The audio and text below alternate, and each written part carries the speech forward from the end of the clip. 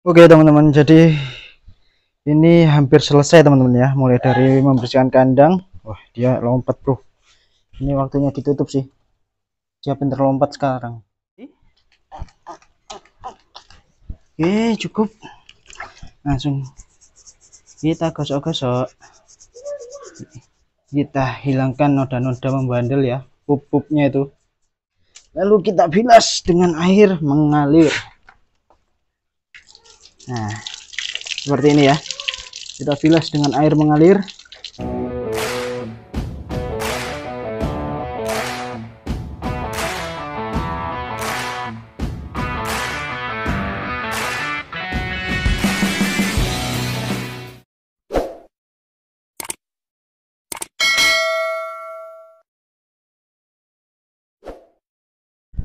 Oke, halo teman-teman semua, kembali lagi channel Fake Iguana ya.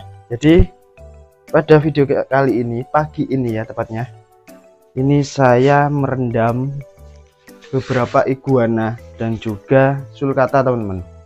Jadi di sini ada roket, ini ada iguana merah ya. Ini ada iguana yang di apa gex itu sulcata. Kalau yang ini nggak bisa saya rendam teman-teman, soalnya kandangnya seperti ini ya mungkin nanti tinggal kita bersihkan aja lah ya. Nah merendam iguana seperti ini atau sulcata itu bisa anu teman-teman apa namanya memperlancar pencernaannya ya. Jadi di sini terlihat sudah ada yang pup ya kan. Jadi iguana kalau kita rendam pasti dia akan mengeluarkan pup ya. Uratesnya akan keluar juga jadi lebih sehat lah teman-teman ya. Oke kita lihat tiap kandang ini apakah sudah mengeluarkan pupnya atau belum? Oke jadi kita cek satu persatu teman-teman ya. Oke kita mulai dari kandang ini dulu. Red iguana. Wah ini sudah ternyata bro. Ya ini ini ya. Keluar semua ya. Mantap ini. Jadi kita biarkan dulu. Jadi manfaat ini juga banyak selain untuk memperlancar pencernaan mereka juga bisa minum teman-teman ya. Mereka bisa minum juga dan juga ini kita lihat roket. Roket masih belum masih belum ada pupnya yang keluar. Jadi kita tunggu. Jadi nanti ini rencana ya. Rencana ini akan saya rendam sampai siang nanti teman-teman. Aduh sempit.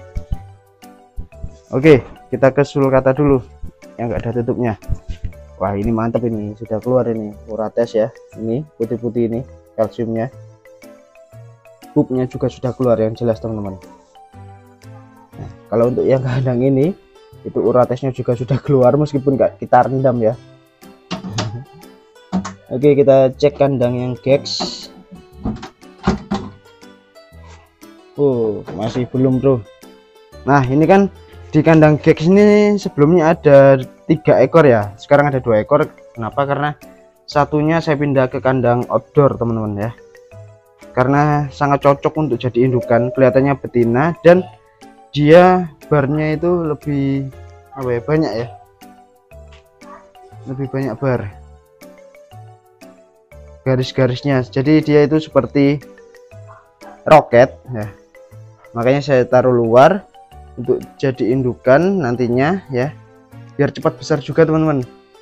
Siapa tahu nanti bisa nyusul ukurannya roket ini ya kan kakaknya. Beda setahun sama dia. Oke.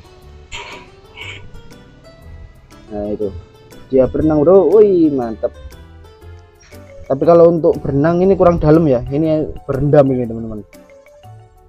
Soalnya ini akan saya rendam sampai siang nanti sampai siang nanti. Ini kan jam berapa ya? Setengah 8 mungkin. Mungkin sampai jam 12 atau jam 1 sekalian kita bersihkan ya. Oke mantap jadi untuk kandang outdoor nah, kandang outdoor ini mereka sudah makan. Untuk yang kandang atasnya teman-teman. Untuk yang kandang bawah belum. Ini alas-alas kandang. Ntar lagi akan saya cuci ya kan ini makanannya belum saya kasih makan. Dan ini tadi saya kasih pepaya juga untuk yang kandang atas. Nah kandang bawah masih belum makan ya kan? Untuk kandang atas ini sudah teman-teman. Sudah makan. Dan pepayanya juga habis. Nah, mantep ya tinggal dikit. Kemarin ada yang langsung ngambil lagi ke sini teman-teman ya. Langsung ngambil ke sini lebih enak ya. Bisa langsung pantau. Cocok langsung bayar teman-teman ya. Untuk daerah Lumajang bisa langsung saja ke sini ya. Itu kemarin dari Probolinggo mumpung lewat Lumajang. Jadi orangnya pengen mampir. Sebelumnya memang sudah beli ke sini ya. Jadi dia pengen lihat langsung mantep. Tinggal dikit stok ya. Yang jelas yang dijual itu yang sehat dan yang nggak minus teman-teman. Terutama jari spike ya. Ekor itu nggak minus. Jadi mantep bro ini bro. Langsung saja WA ya WA ada di kolom deskripsi karena saya nggak ingat nomor WA saya teman-teman. Oke jadi nanti akan saya lanjut pada saat pembersihan atau membersihkan kandang itu ya nanti siang. Oke teman-teman jadi ini hampir selesai teman-teman ya. Mulai dari membersihkan kandang. Wah dia lompat bro. Ini waktunya ditutup sih. Dia pinter lompat sekarang ini akan saya tutup sementara ya. Oke. Jadi di sini ada iguana yang ada di dalam gek sudah bersih sudah makan itu ya. Sulcata juga lagi berjemur sudah bersih sudah makan. Ini juga jantan ini sudah bersih sudah makan. Ini ada roket ya. Roket ini ah dia lagi makan bro dan si bajing kemprut ya itu habis saya mandikan sekarang lagi berjemur tinggal nunggu kering aja baru kita masukkan teman-teman ya Oke, mantap. Dan di sini PR saya tinggal satu lagi, teman-teman. Ya. Sisa satu, bentar lagi akan saya videokan ya. Di sini ada red iguana. Yang sebentar lagi akan saya mandikan. Saya sabuni, terus saya bersihkan kandangnya, lalu kasih makan, jemur juga, teman-teman. Setelah itu tinggal yang kandang bawah ya. Kandang bawah agak sore-sorean aja nunggu nggak begitu panas ya. Ini cuacanya jam berapa ini? Setengah dua ini. Trik sekali ya. Alhamdulillah masih ada panas jadi masih bisa menjemur para iguana ini teman-teman ya. Sulcata juga lagi asik makan itu. Sambil berjemur pokoknya semuanya dijemur. Oke saya akan ambil tripod untuk membersihkan kandang ini teman-teman. Oke teman-teman kita mulai. Ini cloud yang terakhir ya. Habis itu saya bisa istirahat. Mungkin nanti akan saya lanjut sore hari membersihkan kandang outdoor dan memberi makan untuk yang kandang bawah untuk indukan teman-teman. Oke jadi sekarang kita buka ya. Langkah selanjutnya kita ambil iguananya. Terus mana sabun? Ya, sabun mana bro? Ya kalau ada sabun.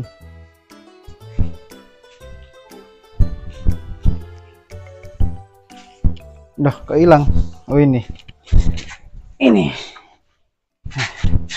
Kita kasih oke cukup. Langsung kita gosok-gosok. Kita hilangkan noda-noda membandel ya pup-pupnya itu. Jadi biar iguana itu kelihatan fresh kelihatan bersih kinclong ya. Enak dilihat. Oke ekornya jangan lupa juga ya.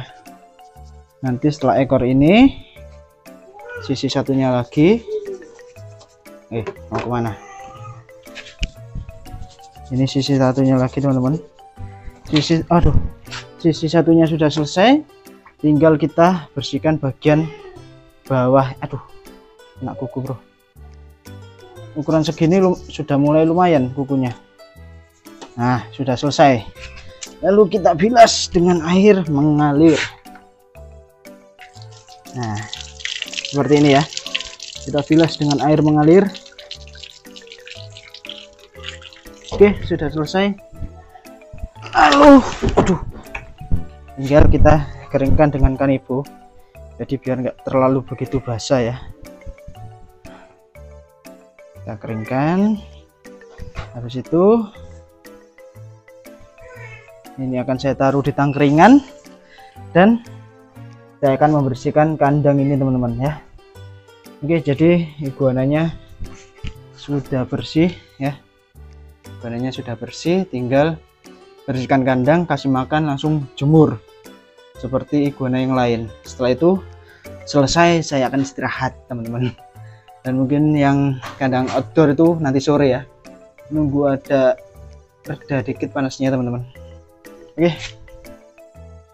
Oke teman-teman jadi Alhamdulillah sudah selesai ya sudah selesai dan Oke saya keluar dulu. Nggak apa-apa lah panas-panasan bentar. Sudah selesai dan ini lagi santai-santai semua. Ya. Lagi menikmati makanan. Jadi PR saya tinggal yang ini teman-teman. Untuk kandang. Ntar berteduh dulu bro untuk kandang bawah ini belum makan dan kandang atas ini makanannya sudah habis bro. Alhamdulillah ya makanannya sudah habis. Mungkin nanti akan saya tambahi lagi dengan pisang ataupun pepaya ya untuk kandang atas untuk fokus mengejar pembesaran ya. Ini aja udah gembul-gembul perutnya ya. Oke bentar Oke jadi ini perutnya sudah gembul-gembul semua. Eh. Makanannya juga sudah habis. Makanannya ini makanannya ya habis. Tadi pagi sudah saya kasih makan. Saya kasih kangkung dan juga pepaya. Mantap memang. Sekarang waktunya mereka berjemur biar cepat besar ya. Oke jadi mungkin itu kan masih ada sisa pepaya ya. Jadi nanti akan saya bagi kandang atas dan kandang bawah dan untuk kangkungnya ini untuk kandang bawah semua teman-teman. Uh lumayan. Panas hari ini Alhamdulillah. Ini yang red barusan saya jemur dia langsung berjemur ya. Soalnya dia berendam dari pagi tadi sampai siang ini langsung berjemur. Mantep. Oke. Yaudah teman-teman mungkin segitu dulu ya vlog saya.